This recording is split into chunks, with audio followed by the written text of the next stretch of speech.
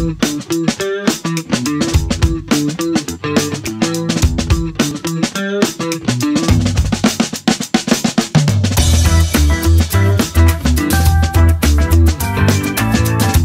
guest today is Eric Potter. Eric, how are you? Doing well, Dave. How are you?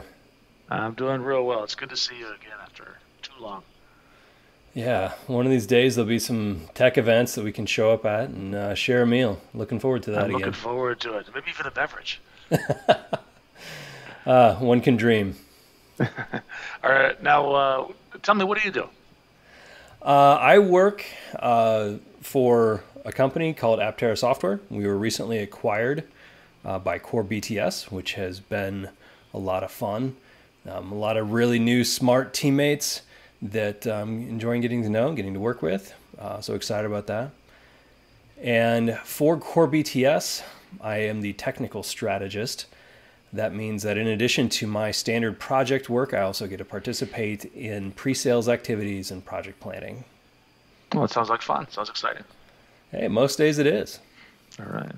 Um, we were talking earlier about something called Kusto query language. Is that a big part of what you're doing? I would say that Kusto is one of the things that has been the biggest improvements in my quality of life as a developer over the last three or four years. I spent a lot of time, I've spent a lot of time in my career trying to track down bugs in applications Oh, that yeah. I'm that I wrote and I'm supporting. I'm sure there are good developers out there that don't put bugs in their software. I'm not one of those developers, you know. I, I uh, The mythical bug-free developer. yeah. Uh, but for those of us that do sometimes have bugs that slip into production, it can be a, a nightmare to try and figure out what happened. And so, with a combination of Azure Application Insights and the Kusto query language, we can go from just guessing what is happening in this application uh, to being able to have actionable information and details about what our users are doing. Yeah, that's Application Insight's a great tool, uh, but probably the best and the worst part of it is how much data it actually logs. It captures a ton of data, and slogging through that, trying to find what's relevant, is a challenge. And that's where Right. query language helps.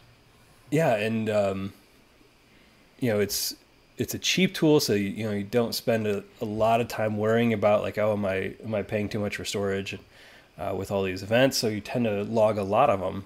Mhm. But then, like you said, it's you know it's one thing to just have all that data. The question is when you get that notification that something's going wrong in production, can you figure out what's going on?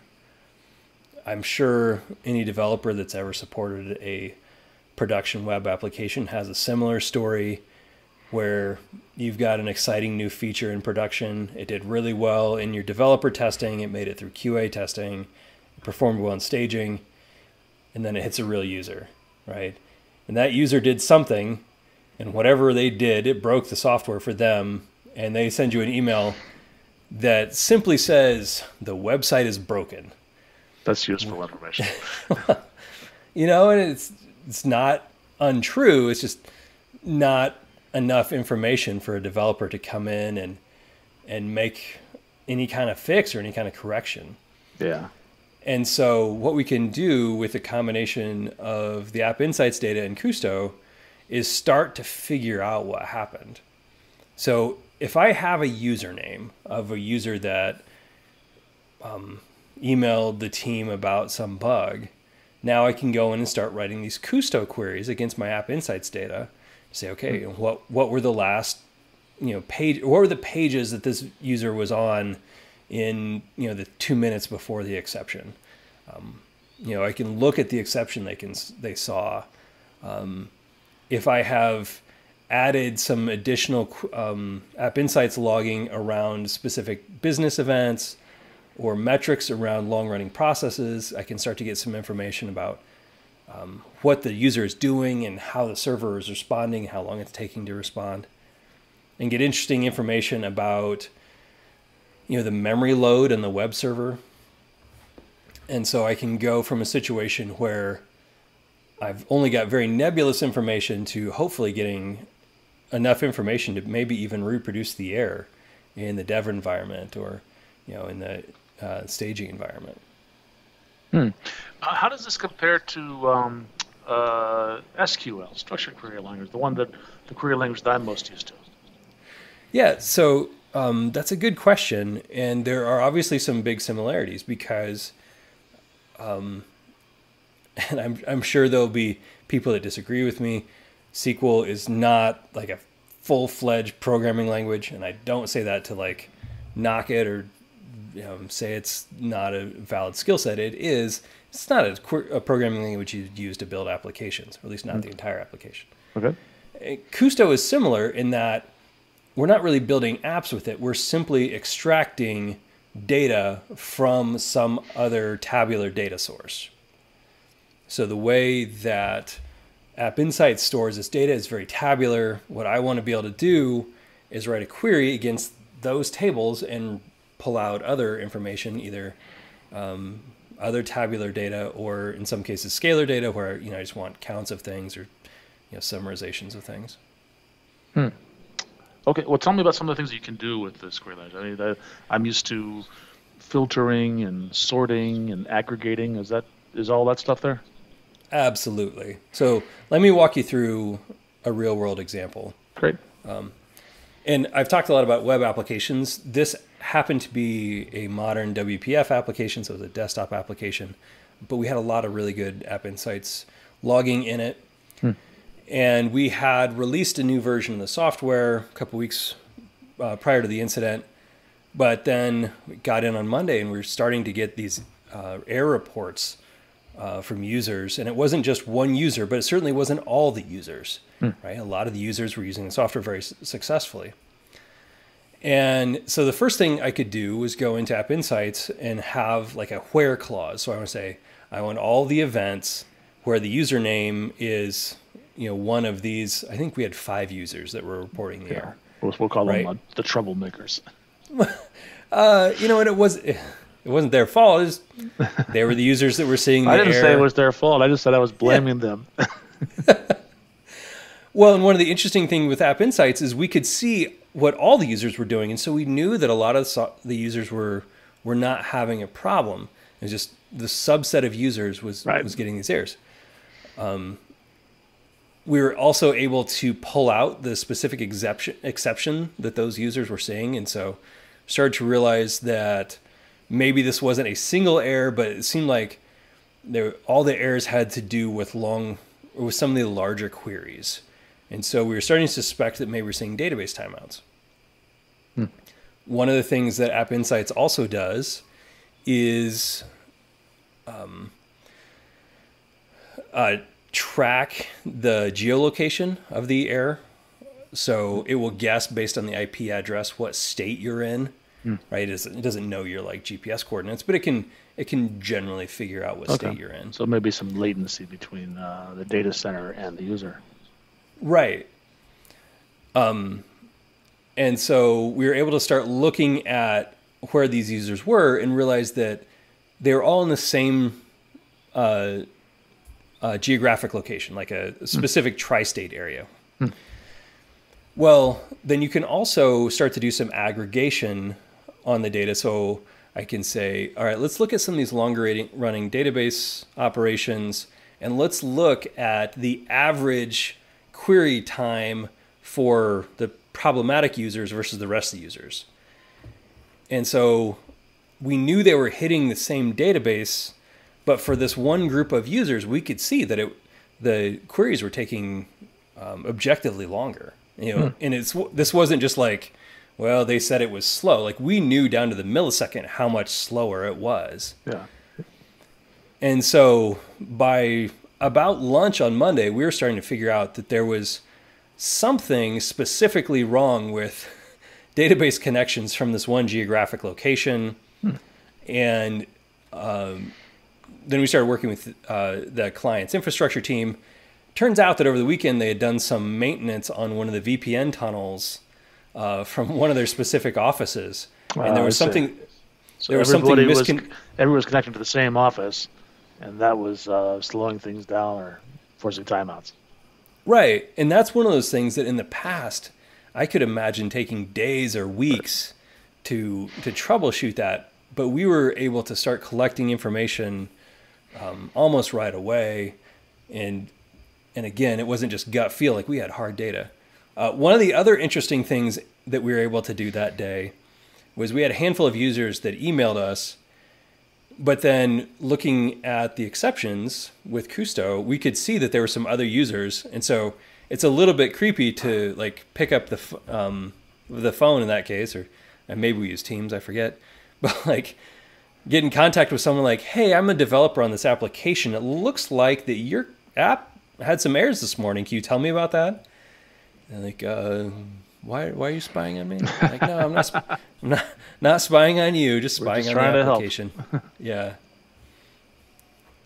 Uh, yes, but I think what you're doing is you're taking raw data and you're turning that into useful information. That's which is a, a big part of troubleshooting. Um, I started looking at Kusto Query a little bit more closely because I knew we were going to talk about it today, and I learned something. I learned that it is an open source project. I wonder how much of that is the community is contributing versus how much is being developed by a core team. That's really I I don't know the answer to that. I would um, love to dig into the code a little bit more and you know, see what see what they're doing. There are some things that I'd kind of like to recommend, and I mean they're actively developing it. Uh, there continue to be new features in the language. So. Oh yeah, well have you been to their uh, the GitHub page? Uh, only you know just to see that it's there. I, I okay. haven't like looked at the commits. The the other thing, oh neither did I. I but I did read the README. It's a very short README file, but it also says that uh, this is interesting uh, because I've used just like you, I've used Kusto for um, querying application insight. But according to the README, uh, Kusto query language is a simple yet powerful language to query structured, semi-structured, and unstructured data. And uh, it, uh, it assumes relational data models of tables and columns with a minimal set of data types. So apparently you can use it to query other things beyond application insights. That's what, that's what it suggests. And I've I've used it very briefly with Azure Data Explorer. Okay. Um, um, oh, querying like uh, table storage. Yeah, uh, but I that's that was like a, a one off thing. Okay. Uh, so I, I don't know as much about that. Mm-hmm. Um, related to App Insights, uh, but a slightly different, you can use Kusto queries to set up Azure alerts. Have you looked at those? Yeah. Uh, that's pretty yeah, nice. So, so you can uh, tell when things are outside of a uh, normal range and have some action take place. Yeah, we had one client in particular that had a big promotion last year for Black Friday and knew they were going to be doing like 10x or you know 30x the normal amount of traffic they had on their site. And so we set up a bunch of the azure alerts. So our support team which we have you know we have a 24/7 support team you know they could be notified you know is if the average page load time drops below a certain threshold or mm, if the memory memory consumption in the uh, in the Azure web app, you know, reached a certain threshold. And so the idea was that if the performance started dropping, they could bump the the Azure resources up like to the next performance tier if they needed to. Hmm. Um, and so they could kind of proactively monitor the health of the application and hopefully prevent it from crashing, which um, they were able to do. Excellent. But I mean the the the key to that whole thing is that you write these Kusto queries and say, you know, I want to know, you know, you know, I want to query all the uh, page load times, you know, for this 10 minute window. And then I want to find the average page load time. And if that page load time exceeds this threshold, you know, and then from there you're using the Azure alerting um, uh, GUI, uh, which is actually really powerful. Um, but it all starts with a Kusto query. Very nice. Uh, tell me about the tooling that you use. Is everything you do inside of the Azure portal, or using any external tools?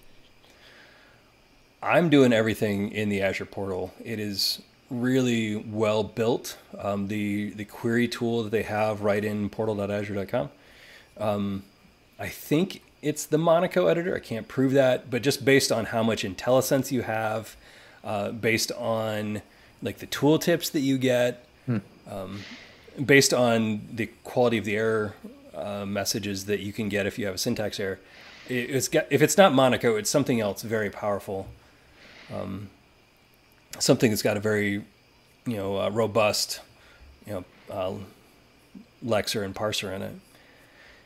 And so, you know, you're just in the portal, but you know, you're getting tab completion and you know, getting tooltips on what these different functions do, and you know, what types this function expects, all those types of things. Oh, that's really nice, especially for uh, folks that are just learning it. That, that IntelliSense was a fantastic invention. Um, what speaking of learning, where's um, if somebody wants to get started with this, where's a good place to go? Well, if you're in the Azure portal, um, if you're there on on the query editor, mm-hmm. there is uh, I forget the exact text, but there's like a really obvious link that's like go to the docs, which will take you to the Kusto docs on docs.microsoft.com. Mm, okay. And uh, I don't know who wrote those docs, but they're great. I mean, they've got you know good examples for all the functions. They've got good documentation around the various data types. Um, yeah, it's it's first rate. Yeah, I think um, uh, in the last five years or so, Microsoft has really improved their documentation. Uh, they've turned it from what at one time was a weakness to a real strength. And so I'm not surprised to hear you say that. Yeah, even when when it was a relatively new tool, I was pretty impressed right out of the gate how nice. much information there was. How long has this tool been around? Oh, that's a good question. Um, and it really came into my tool set, I would say, in the last three to four years. I don't know if that's exact. I think it probably existed a little bit before that. Mm-hmm.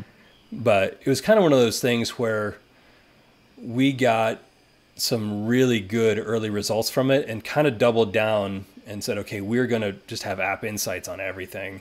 Mm-hmm. And um, now all of our apps are connected to it. And once you have that much data going into it, then you're just writing all these Kusto queries.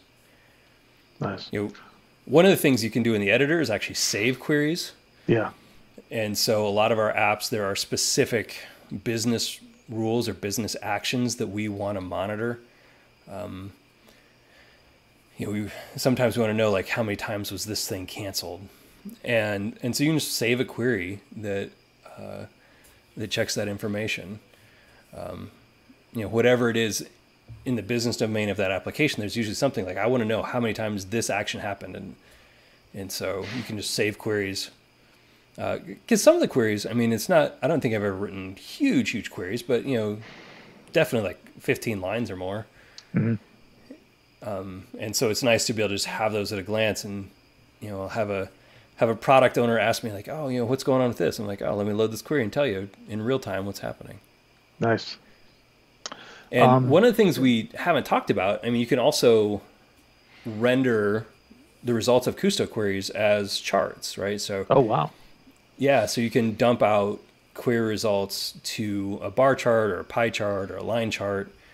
Um, I mean, obviously, you have to have data that uh, lends itself, you know, like a you know a, a, two column table where you have a label and a value.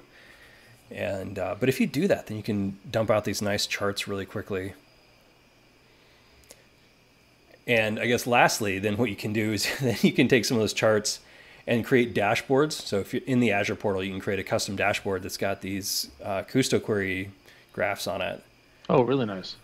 Yeah. So on multiple projects I've been on, we had dashboards specifically for our product owner. Um, we had again, it was it was a desktop app that we were working on, and the client, for various reasons, sometimes would be kind of slow to roll out the latest version of the application, and they had thousands of machines they were trying to update. So it wasn't like they were asleep at the wheel, but right. you know, uh, inevitably users running the old version of the application were one of our largest sources of errors. And so we created a dashboard. We actually had a chart uh, based, you know, it would show a breakdown by manufacturing facility, uh, how many users were on the latest version, and what percentage were on the previous version. And so our product owner could then just glance at that chart and say, okay, I apparently need to make a phone call to this location because they're only at like 50% installation on the new app. Oh, yeah. And you could uh, even write a query to correlate version number versus number of errors to prove the assertion that you made earlier. That, Yeah, that uh, Absolutely. it's, it's uh, upgrading tends to reduce errors. Well, excellent. This is really interesting. I have used Kusto Query before, but not nearly as much as you have. And I've, I've learned something today. I appreciate it. yeah. It's uh, any developer supporting an app uh, that's in production. It's just such a valuable thing, and it's a very pleasant language. I you were talking about SQL earlier. Yeah. Uh, I'm to the point, and maybe it's just because I'm spending more time with it, but I, I prefer Kusto over SQL. Ooh, the gauntlet's been thrown. I know. All right. Well, very cool. Eric, thank you so much for your time, and you stay safe. All right, my friend. Take care of yourself.